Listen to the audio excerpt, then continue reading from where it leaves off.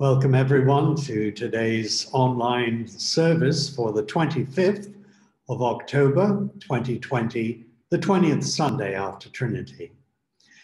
We use as our order of service page 184 in the Lutheran Service Book, setting three.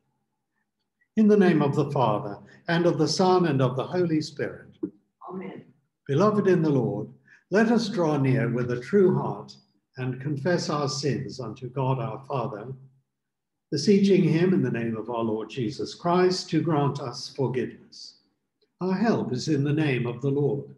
Who made heaven and earth, I said, I will confess my transgressions unto the Lord. and you forgave the iniquity of my sin. Almighty God, our Maker and Redeemer, we poor sinners confess unto you that we are by nature sinful and unclean, and that we have sinned against you by thought, word, and deed. Wherefore we flee for refuge to your infinite mercy, seeking and imploring your grace for the sake of our Lord Jesus Christ. O most merciful God, who has given your only begotten Son to die for us, have mercy upon us, and for his sake grant us remission. of all our sins.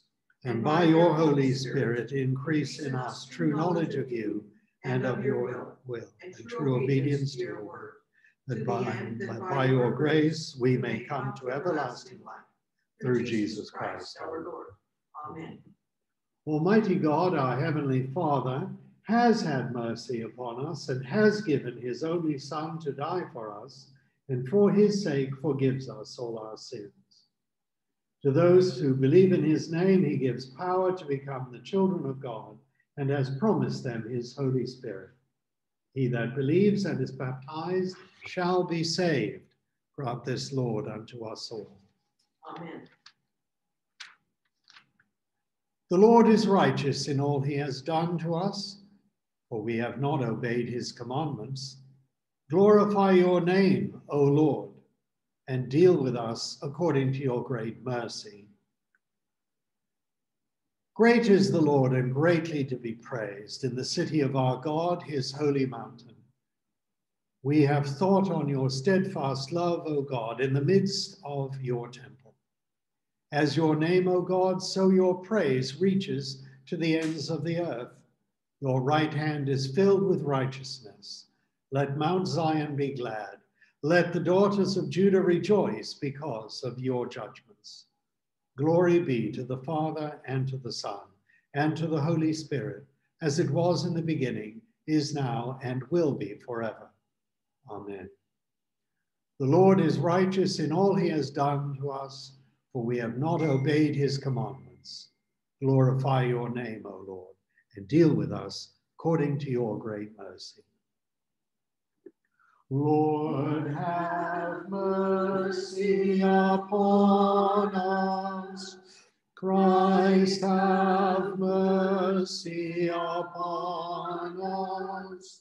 Lord, have mercy upon us. Glory be to God on high, and on earth peace, goodwill toward men. We praise thee, we bless thee, we worship thee, we glorify thee, we give thanks to thee for thy great glory.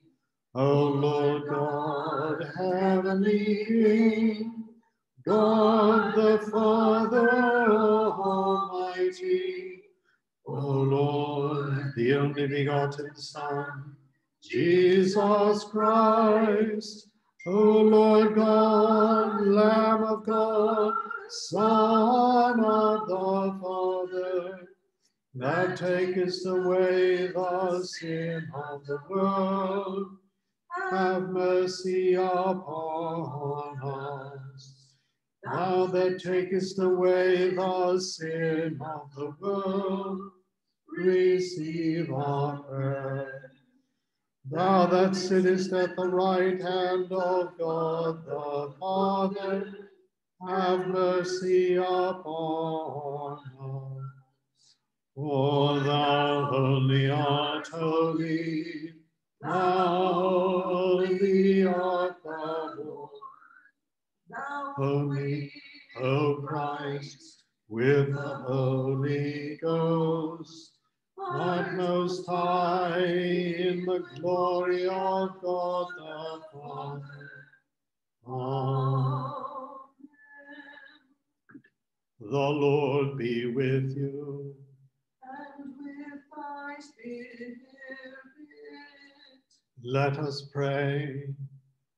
O Lord, grant to your faithful people pardon and peace, that they may be cleansed from all their sins and serve you with a quiet mind, through Jesus Christ, your Son, our Lord, who lives and reigns with you in the Holy Spirit, one God, now and forever. Amen. The first reading for this 20th Sunday after Trinity is from Ephesians chapter 5. Look carefully then how you walk, not as unwise, but as wise, making the best use of the time, because the days are evil. Therefore, do not be foolish, but understand what the will of the Lord is. And do not get drunk with wine, for that is debauchery but be filled with the Spirit, addressing one another in psalms and hymns and spiritual songs, singing and making melody to the Lord with all your heart, giving thanks always and for everything to God the Father in the name of our Lord Jesus Christ, submitting to one another out of reverence for Christ. This is the word of the Lord. Thanks be to God. The eyes of all look to you, and you give them their food in due season. You open your hand and satisfy the desire of every living thing. Alleluia. Out of the depths I cry to you, O Lord. O Lord, hear my voice. Alleluia. Alleluia. Alleluia. Alleluia.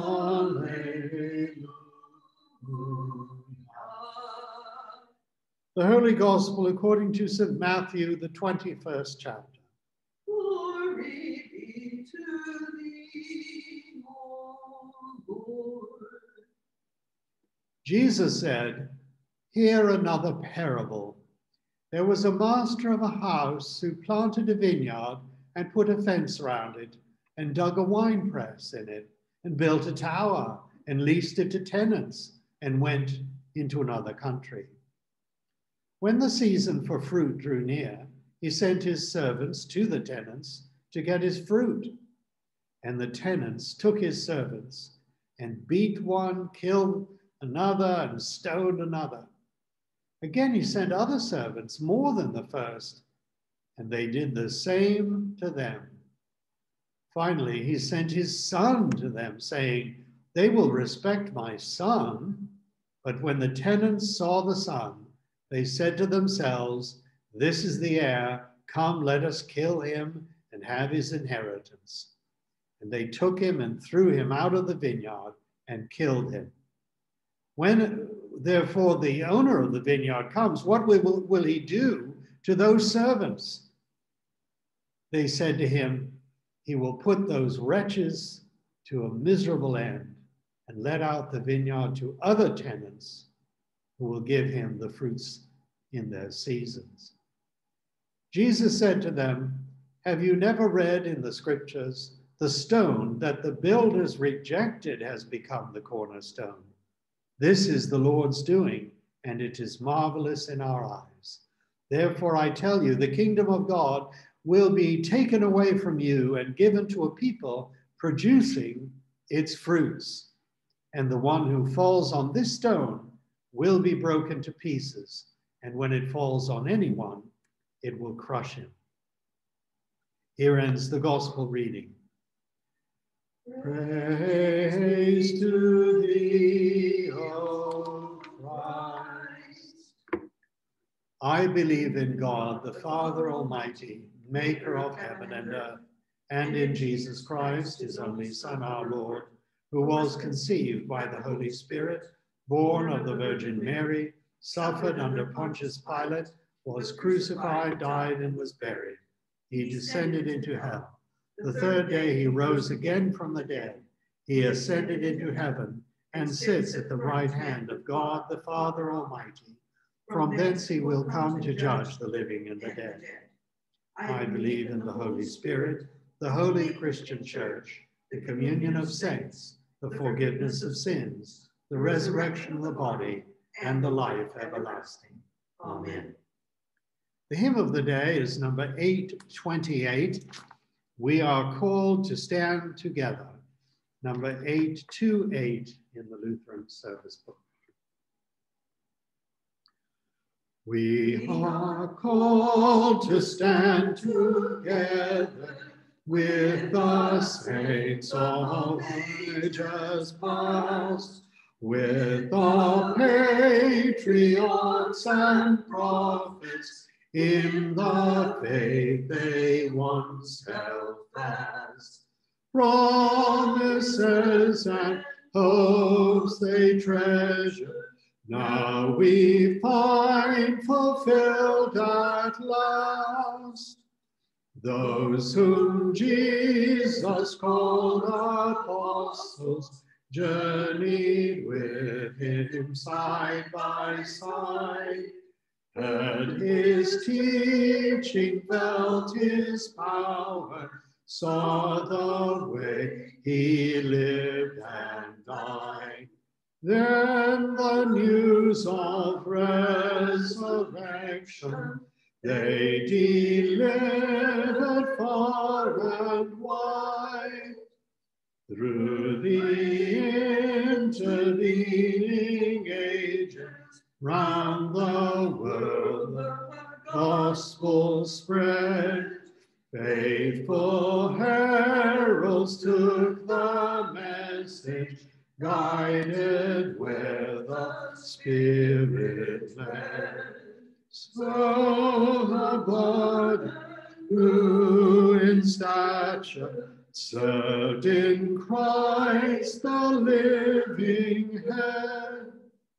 Now in many tongues and cultures, songs of celebration ring. Millions who confess our Savior honor him as Lord and King. Now for great grace and guidance, every day their prayers they bring. To each coming generation, tell the truth, persuade, explain till the time when time is ended, till the Savior comes again. Till the saints are all united under Christ's eternal reign. Grace, mercy, and peace to you from Almighty God the Father, the Son, and the Holy Spirit. Amen. Amen. I remember an old song that said, If that's all there is, then let's break out the booze. That is not the song the Apostle Paul is singing when he writes to the Ephesians living in evil days. He agrees that the days are evil, but he does not agree that that's all there is. He insists that we can sing and make music in our hearts to the Lord, always giving thanks to God the Father for everything in the name of our Lord Jesus Christ. Give thanks for everything? Yes, for everything. We can give thanks because God the Father is in control and no matter how depressing things seem to be in these evil days, that's not all there is. As Christians, we can agree that we face disappointments. We can agree that everything is not as it should be. But we do not, for that reason, despair. Popular wisdom may say, if that's all there is, just break out the booze. But God's word insists if we look carefully, we can live, not as unwise, but as wise. In Ephesians 5, it is written, Look carefully then how you walk, not as unwise, but as wise, making the best use of the time, because the days are evil. Therefore, do not be foolish, but understand what the will of the Lord is. And do not get drunk with wine, for that is debauchery, but be filled with the Spirit, addressing one another in psalms and hymns and spiritual songs, singing and making melody to the Lord with all your heart, giving thanks always and for everything to God the Father in the name of our Lord Jesus Christ. It takes a special kind of wisdom to make the best use of our time when the days are evil. Where will we find that wisdom? St. James writes about it as wisdom from above. The wisdom from above, he writes, is first of all pure, then peaceable, gentle, open to reason, full of mercy and good fruits, impartial and sincere. This is wisdom from God, wisdom from above, offered to people living in evil days, evil times. Jesus Christ, the Son of God, knows from his own experience what it is like to live in evil days. He was incarnate in evil times 2,000 years ago, and he died on an evil day when they crucified him, although he was the Lord of glory. Jesus Christ, the sinless one, is acquainted with grief. He feels our pain. He took upon himself our sin, our guilt. He bore our griefs and carried our sorrows. Christ then rose from the dead for our justification, guaranteeing resurrection and eternal life to all who trust in him. Because Christ did that for humanity, we who live in evil days have a Savior. We do not have a high priest who is unable to sympathize with our weaknesses, but we have one who, in every respect, has been tempted as we are, yet without sin.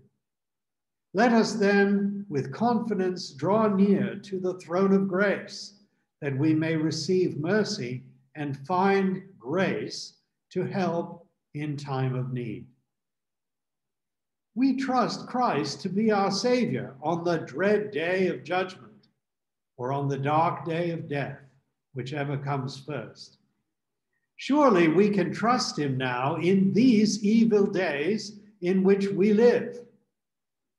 We can find grace in Him to help us in time of need. That grace comes to us from above, and it comes to us in the Word of God as the wisdom of God.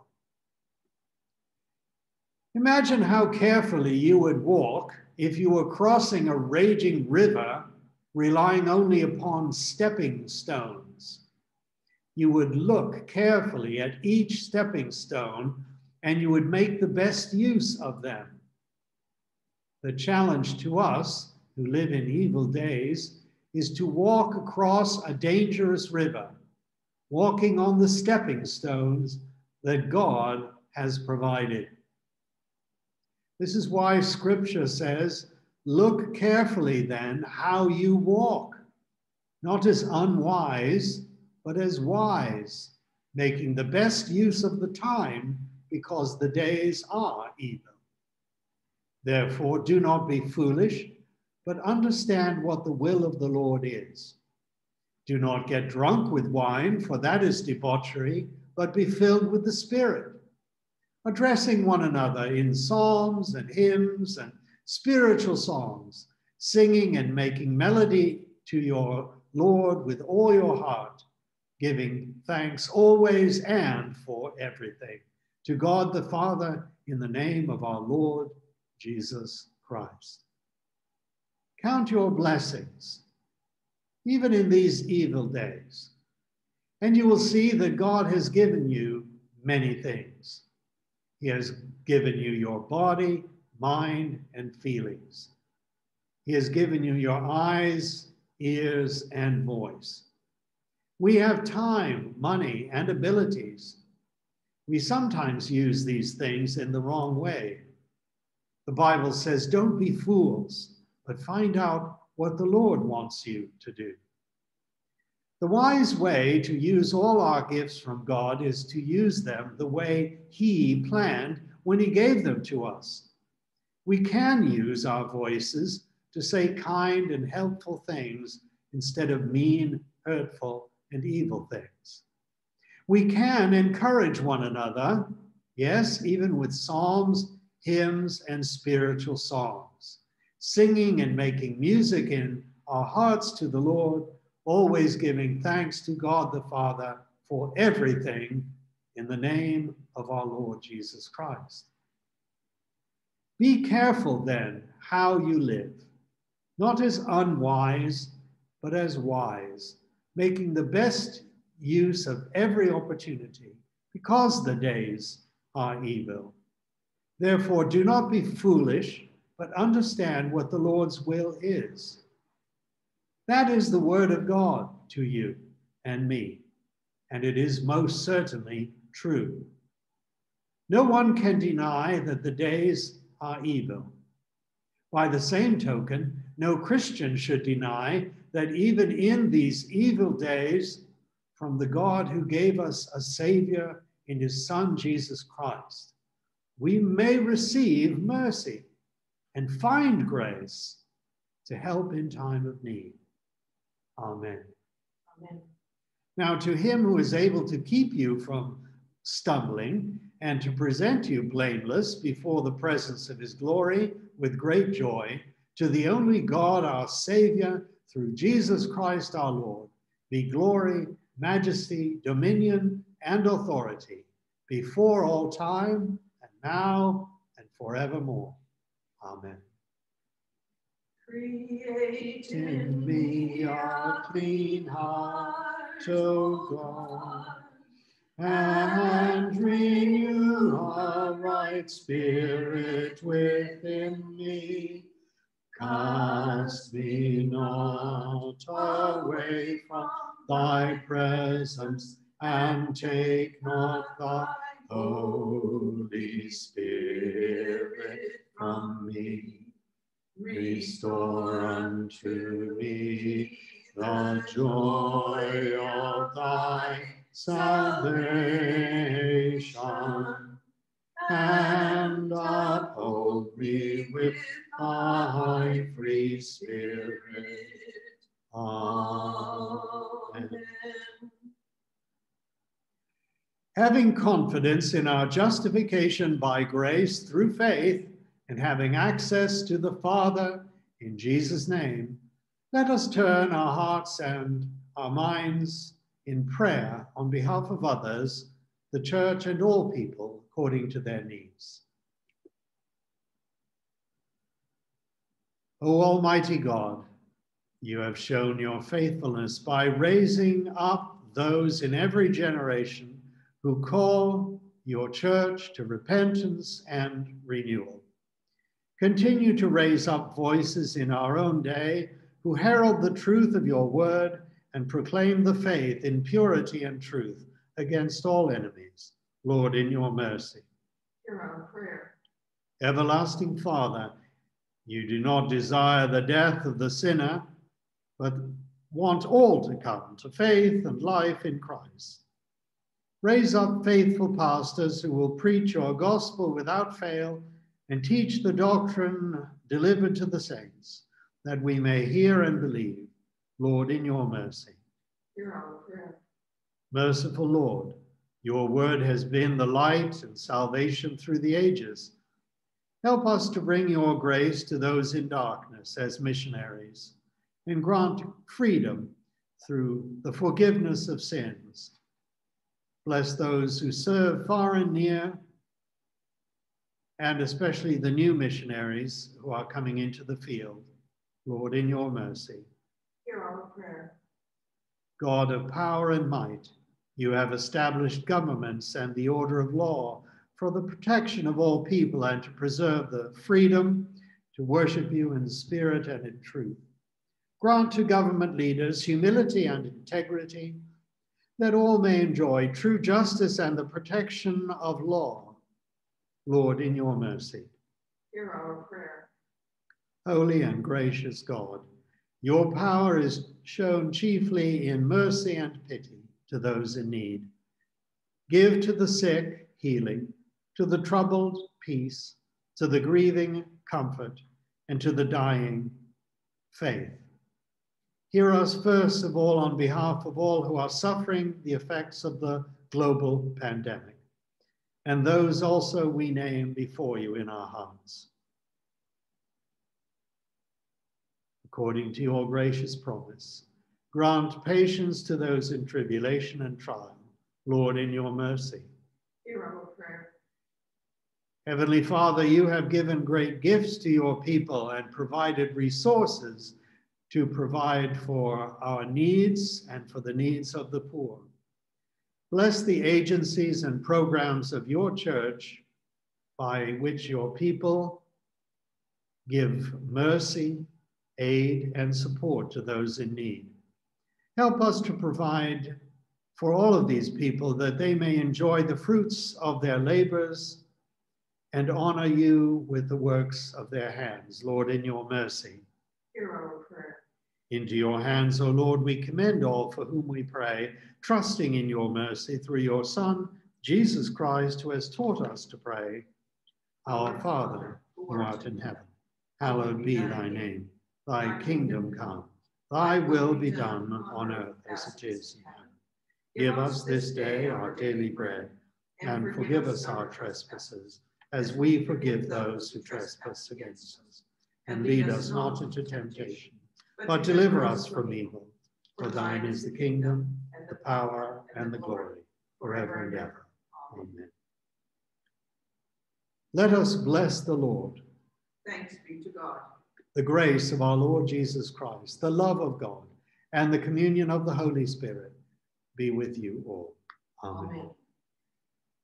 And on the 25th day of October, as we commemorate Dorcas, Lydia, and Phoebe, we sing the hymn For All the Faithful Women, hymn 855. In the Lutheran Service Book, number 855, singing especially stanza 12 today.